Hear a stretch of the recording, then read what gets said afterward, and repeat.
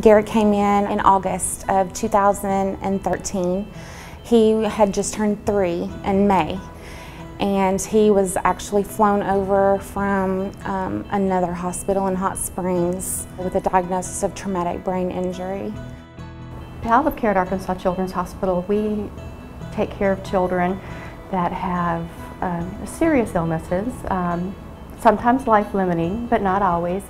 Palliative care is actually an extra layer of support that we provide to our patients. Most recently, I think the thing that stands out to me would be when I was um, not in the emergency room at the time and he was actually brought by non-emergent MIMS.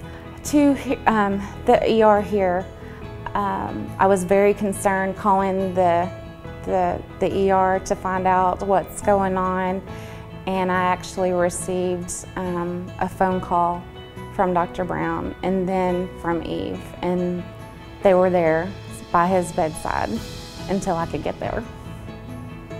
That um, always means a lot to me. They're always there. The relationship is almost indescribable. How close that we've gotten over the past three and a half years. The commitment and the fight and the advocation that these parents have for their children. You can't help but want to champion them, cheer them on, and fight alongside of them.